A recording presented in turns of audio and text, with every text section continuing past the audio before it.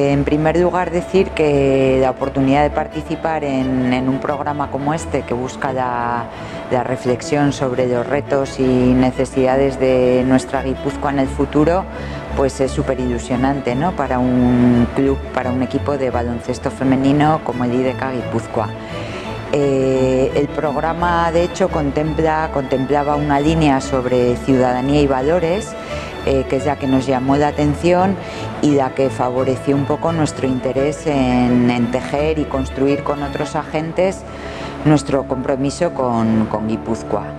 Eh, Ibaeta Kirol Balioak es el nombre que nosotros eh, hemos dado al, proyecto y este proyecto se enmarca en dos ámbitos, el de la educación por un lado y el del deporte por otro.